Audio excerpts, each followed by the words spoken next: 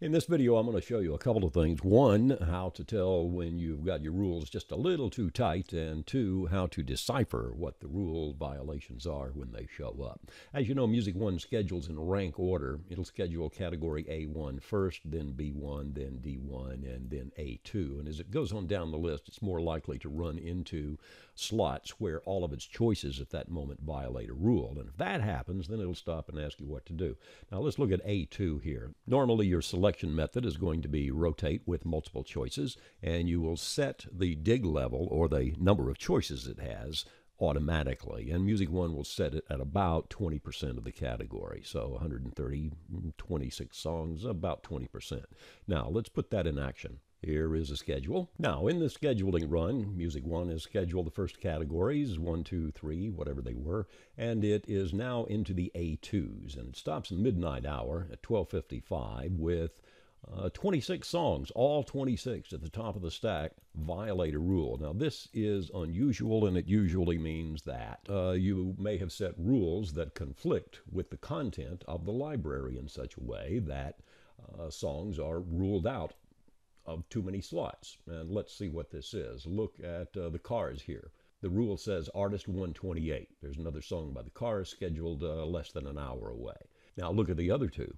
There's a fast to slow rule that would be violated if the cars happen to schedule in this slot, and there's an overall restriction on how many slow songs can be scheduled in the hour. You can see what the rules are by opening the menu Rules, Edit, and these are the rules on this clock. In tempos, we have ruled out scheduling from a fast song into a slow song and from a slow song into either another slow song or into a fast song. The program director has also allowed no more than three slow songs in an hour.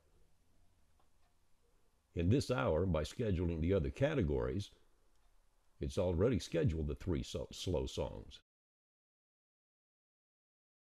Now, if Music One has this many choices for the slot and they all violate rules, then some uh, examination and adjustment is probably needed.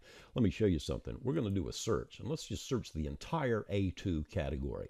Now, there's 130 songs in the category. Uh, the dig level is 26. Let's search the whole category. And let me pull that up here just a little bit so we can see them all. Look at all the songs that, that violate a rule in this slot just about everything, you know, maybe one third of the songs, do not violate a rule in this particular slot. Now remember, some editing is almost always necessary, some human choices. The rules are not the law. The rules are just general guidelines that you put up for your music flow. And when it happens that Music One has choices that all violate your rules, then you make a human choice about what to do. If you see the same rule coming up over and over and over again, then it's probably because your rules are too tight in that they conflict with the overall content of the library and the way you have set the rules up. There's more to know about rules. You can always contact the Music One office and we'll help you figure things out if you've got a problem.